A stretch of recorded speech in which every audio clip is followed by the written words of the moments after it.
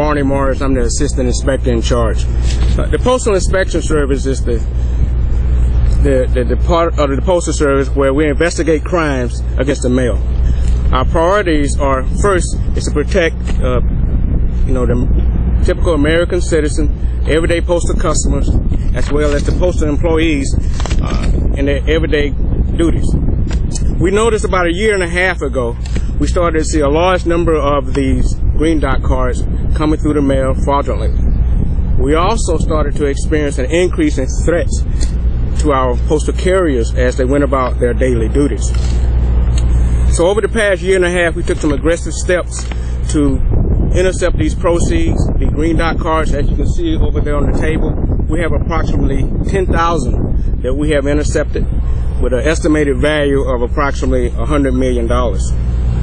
And we come up with that figure that based on the average number, uh, average amount on these cards, about $5,000. Now, I really want to echo my counterparts here. Uh, this would not be possible without the cooperation of our local, state, and federal law enforcement agencies. The, the problem is huge. And it's not only in Tampa, Florida, it's across the nation, but in Tampa, we seem to be the hotbed for this type of criminal activity. And I wanted to say to the people out there committing this crime, um, we are on this 24 7. As you can see, we have committed resources, both locally, state, and definitely from the Postal Inspection Service. And we will not relent until all of you are brought to justice. At this time, I would like to bring up the chief. I know that everyone has said what great working partnerships we've had and how difficult these investigations are, but I think it really bears repeating. The all of the investigators that you see right here, I applaud them. My hat is off to each and every one of you for not only your investigative skills, but your tenacity in this because they have hit roadblock after roadblock in these investigations. So they have done a great job, and it wouldn't be po- possible without the working relationships. We have worked hand in hand with the Secret Service, the Postal Inspector, Hillsborough County Sheriff's Office, along with the U.S. Attorney and the State Attorney to find out okay, we can't charge them with tax fraud. What can we do to bring these individuals to justice? And we have done that today.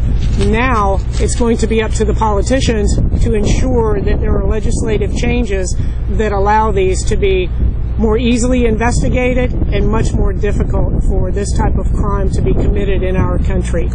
Now, as I said before, a lot of the people will say that this is a victimless crime. And I want to give you just one example of someone that has been, actually, I'll give you two examples. But the first one, you will be able to interview this individual later. But this shows how the everyday citizen is impacted by this type of crime. There's a 27 year old individual by the name of Logan Pennypacker. And he is an example of how this fraud is hurting the ordinary citizen. Logan is disabled and confined to a wheelchair. Not only was his identity stolen, but the resource center where he went daily suffered significant tax cuts.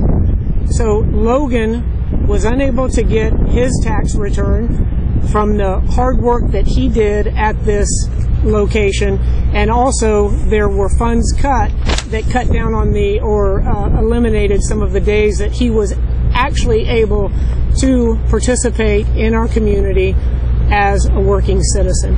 So these types of crimes do affect each and every one of us. And now we would like to introduce to you Lieutenant Mark Scott, who is a member of the Tampa Police Department, and he had his identity stolen, and he's going to give you a, a real life testimonial on the difficulty of this type of a crime on an individual. Mark?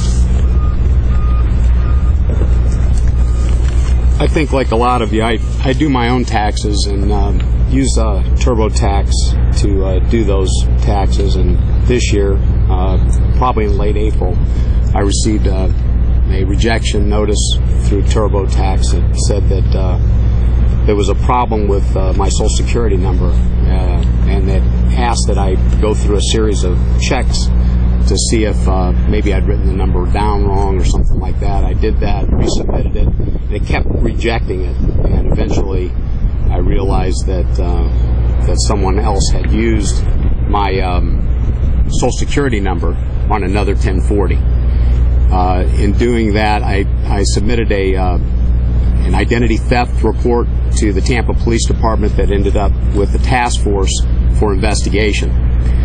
Um, I was contacted by the task force. They had asked me to respond to the IRS to try to get some information to help them in the investigation because they had ran into some problems uh, getting information uh, on my tax uh, forms because of the restrictive laws uh, protecting uh, uh, that information. So, as the victim, I responded down to the IRS to try to get that information. Unfortunately, those laws that, uh, that that protect us are the same laws that hampered me in getting that information as well. So when I got down there, they took my hard copy of my 1040. They said that they would review it, but they wouldn't give me any information at all. So when I left there to to try to get information to bring back to the task force, I actually brought no information back. I did leave my 1040 with them, a hard copy of that, and eventually did get my tax form or my tax return back, the money of it, but uh, retrieved no information as far as what happened with that initial fraudulent 1040. And it was very frustrating. I was aggravated as a victim. It sort of felt like I had been um, victimized twice. You know, once was the was the ID theft part of it, but the other was as you know as a taxpayer. Um, it was it was a very frustrating experience so, for me anyway. Thank you. Thank you. Okay, any questions? Well, before we start the questions, I would also like to thank